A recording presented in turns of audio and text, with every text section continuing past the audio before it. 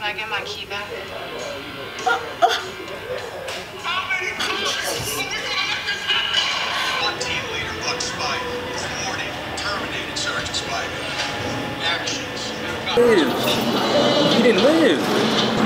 Oh, so he's wow. How did it?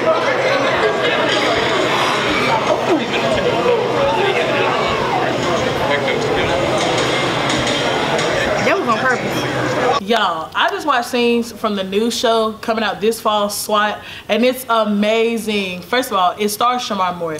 He's so fine. So, ladies, y'all definitely want to watch this. And guys, it's action packed, like jam packed with action.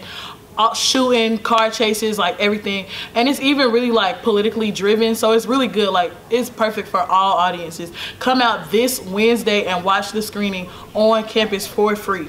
SWAT, come see SWAT.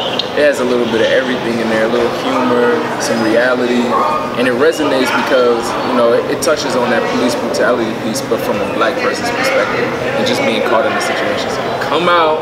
Just watched the trailer for the new show SWAT, and it was really good. It's really dope. Y'all should come out and watch it because I want to watch it. Yeah, it was good.